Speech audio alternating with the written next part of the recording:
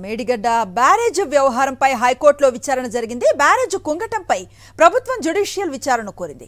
Supreme లేదా high court జడ్జితో విచారణ జరపాలని ప్రభుత్వం కోరింది. దీనిపై విచారణ జరిపిన high court central water commission implead చేయాలని పిటిషనర్కు ఆదేశించింది.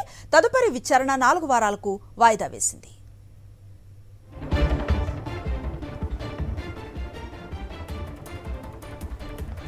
ఇందుకు సంబంధించిన తాజా సమాచారాన్ని మా కరెస్పాండెంట్ వాసు అందిస్తారు. వాసు.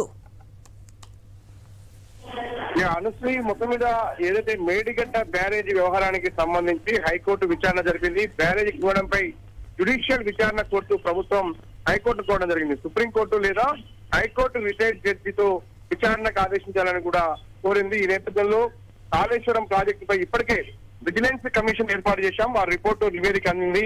దాని ఆధారంగా ఇంజనీర్లను కూడా తప్పించామని కూడా ప్రభుత్వం కోర్టు వెళ్తుంది విజిలెన్స్ రిపోర్టు తర్వాత మరికొంతమంది ఉద్యోగులపైన కూడా చర్యలు తీసుకుంటామని చెప్పింది మేడిగడ్డ బ్యారేజ్ కుంగడానికి కారణమైన అధికారుల ఫైనల్ రిపోర్ట్ వచ్చిన తర్వాత కూడా చర్యలు తీసుకుంటామని కూడా ప్రభుత్వం హైకోర్టు చెప్పింది. గడ్డపై ఇప్పటికే రాష్ట్ర ప్రభుత్వం నేషనల్ డ్యామ్ సేఫ్టీ అథారిటీ కూడా లేఖ రాసింది.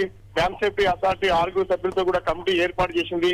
అయితే ప్రధానంగా సెంట్రల్ వాటర్ కమిషన్కు ఈ ఈ పిటిషన్లో ఇంప్లీట్ చేయాలని కూడా హైకోర్టు ఆదేశించింది. తదుపరి విచారణ నాలుగు వారాలకు వాయిదా వేసింది. మొత్తం మీద మేడిగడ్డ బ్యారేజీ కుంగడం అంశానికి సంబంధించి కూడా హైకోర్టు అయితే ఒక జ్యుడిషియరీ కమిటీని ఆదేశించే విధంగా ప్రస్తుతం ప్రభుత్వం ప్రయత్నాలు సాగిస్తుంది.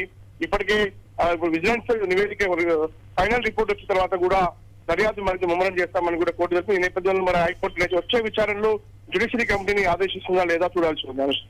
Right thank you Vasu